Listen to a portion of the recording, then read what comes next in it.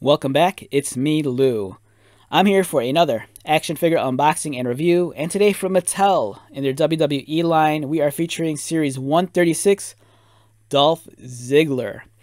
Alright, so as of this recording, it's December 18th, 2023. Dolph Ziggler, unfortunately, was let go from the company some months ago. Uh, speculation is is that he's going to appear on AEW at some point in the near future. Um, there's already been some photos of him backstage. So it's just a matter of time before Nic Nemeth joins his brother Ryan Nemeth in All Elite Wrestling.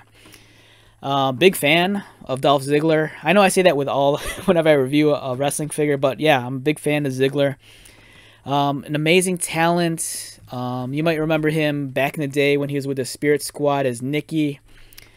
Um, oh man, can't say enough good things about him. You know, such an incredible talent. The hardcore fans always talk about how he's been, you know, underused during his time with WWE. But, you know, I think it could be argued that they didn't appreciate um, his talents and his efforts.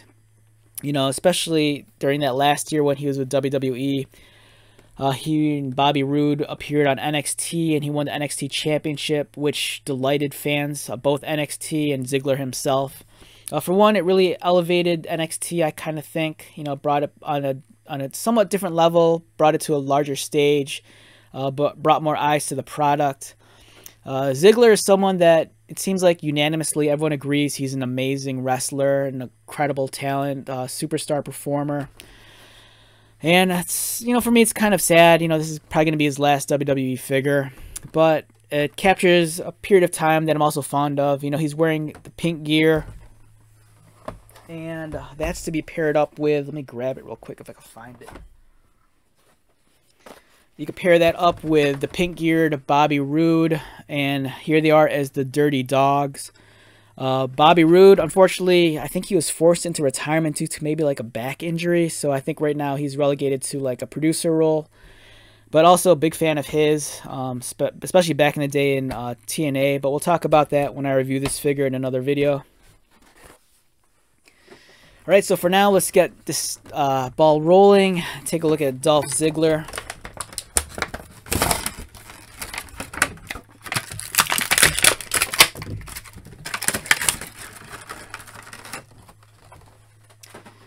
Uh, Dolph Ziggler has been very fortunate to have so many action figures under the Mattel banner.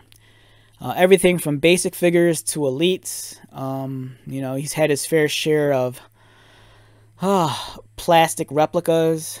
Um, this one's great. Uh, the likeness is pretty decent. Kind of has a very stern expression. Uh, the hair is nicely sculpted. Uh, he has the Dirty Dogs um, logo on the tights. I was kind of surprised that they didn't package this as a two-pack uh, with Robert Roode. But, you know, as a solo figure, it's it's great. So well done action figure. Uh, if you've been fortunate to go to Dolph's comedy shows, you'll know what a entertaining performer he is. You know, besides being a talented in in ring performer, he's even talented just on the mic. A very engaging personality.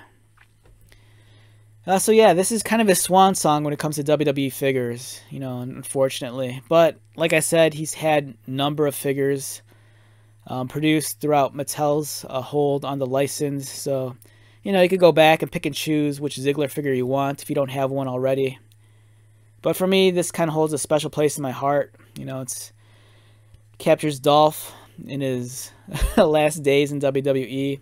And I'm always going to be fond of that time when he crossed over to NXT and won the belt. All right, so with that being said, let's wrap this one up. Uh, once again, my name is Lou. If you're new to my channel, welcome. If you are a returning viewer subscriber, thank you so much for your continued support. I greatly appreciate it. So until the next video, be safe, take care of yourself, buy lots of toys, and most importantly, be happy. And I'll see you at the next one. All right, later.